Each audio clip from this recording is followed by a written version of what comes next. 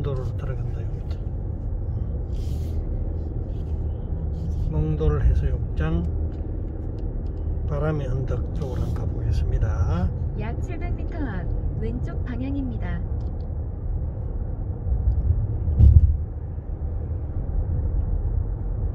왼쪽 두 번째 차로를 이용하세요.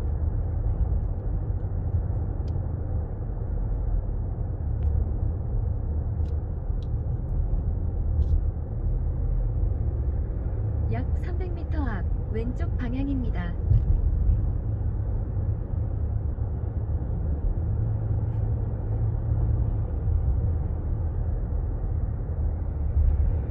잠시 후 왼쪽 방향입니다.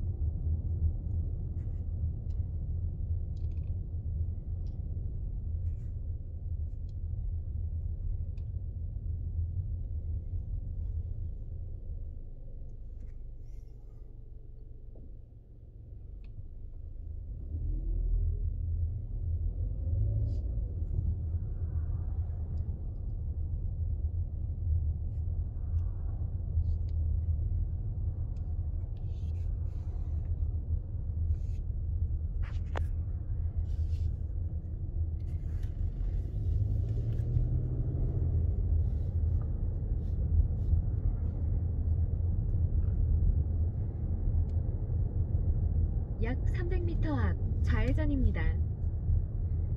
사고 다발 구간입니다.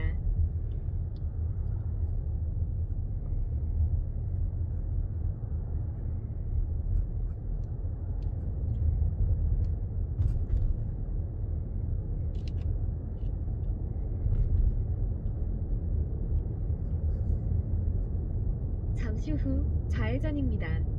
이어서 좌회전입니다.